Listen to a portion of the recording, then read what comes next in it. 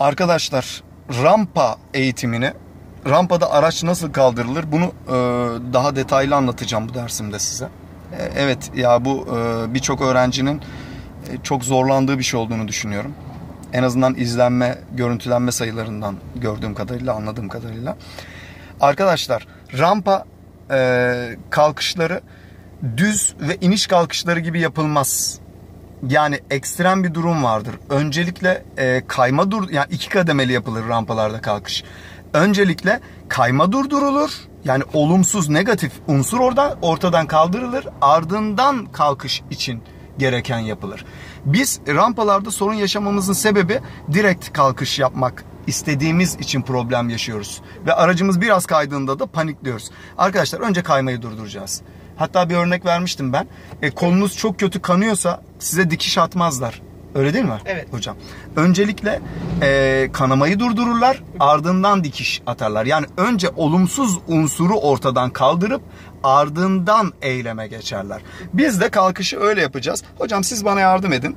Hocam derken bu arada e, öğrencidir kendisi şu an e, ama normal hayatta öğretmen olduğu için tabii biz de saygımızdan hocam diyoruz ama gerçekten saygı duyuyoruz. E, hocam Yasemin hocam bana yardımcı olacak. Onun dersi zaten. Hocam ne yapıyorduk öncelikle? Ayağımız frende. Çünkü freni bırakırsak kayar öyle değil mi? Freni Evet. bir bırakın hatta. Bakın arkadaşlar araç aşağıya doğru kaymaya başladı. Kayıyor. Tamam. Bırak basalım freni. Demek ki kayan bir yerdeyiz. Önce kaymayı durduracağız. Ne yapıyorduk öncelikle?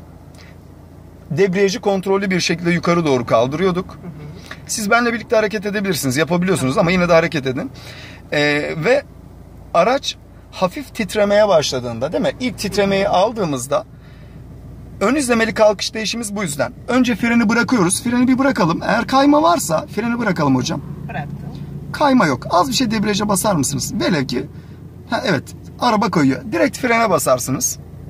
Eğer kayma varsa biraz daha ilave edersiniz debriyaja.